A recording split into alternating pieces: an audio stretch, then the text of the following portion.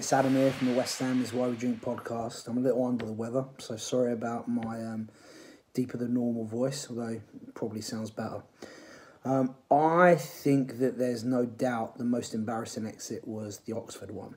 Um, although the League Cup is less important, you know, we just come off of a win against high flying Norwich at the time. Um, but then we got a draw against uh, Villa, and then we beat Man United 2 0. At that point, we were flying, um, and we, we there's no excuse not to beat Oxford. Whereas West Brom, you know, the script was set. They're high flying in the championship. We're abysmal at the moment. Um, and honestly, for the first time in a long time, I went into that game with absolutely no hope that we would get anything out of it. So for me, the Oxford one is way more embarrassing. Let's hope that we can salvage this season still. Come on, you Irons. Which is more embarrassing as an FA Cup exit, losing to Oxford away under Pellegrini last season, or losing to West Brom at home under David Moyes at the weekend just gone. As far as I'm concerned, they're both just as equally embarrassing as each other. Now, don't get me wrong, the Oxford United loss was very, very embarrassing. To lose to a League One side with players who didn't really care is just as embarrassing, in my opinion. Bearing in mind we are coming up to the 40th anniversary of us winning the FA Cup against Arsenal and that 1 0 victory at, at Wembley. It's just as embarrassing as losing to West Brom at the weekend because we had more senior players in the FA Cup under Moyes, just as we did against Oxford United.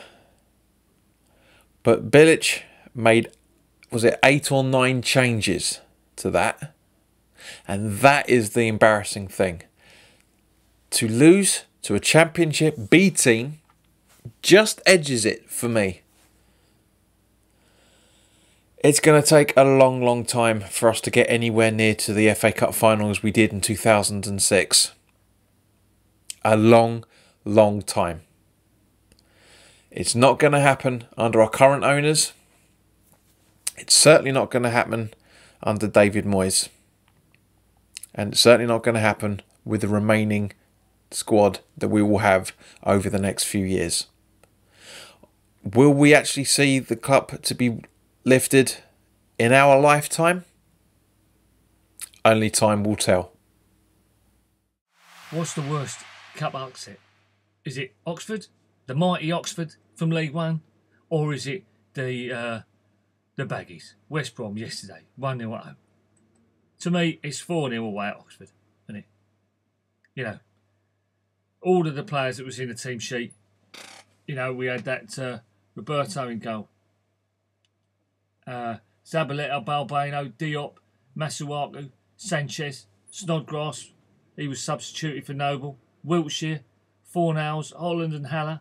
No, sorry. Holland was substituted for Haller. And. Ajeti. I mean, they should have beaten Oxford. Yeah.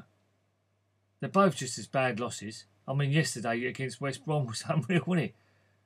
Did we have a shot on target? Did we get a shot on target? Did we get a shot on target? I don't know. It's bonkers, if you ask me. Something is terribly wrong with the club, but you know you got to laugh, otherwise you just go around a twist. It ain't funny, but you got to laugh at it.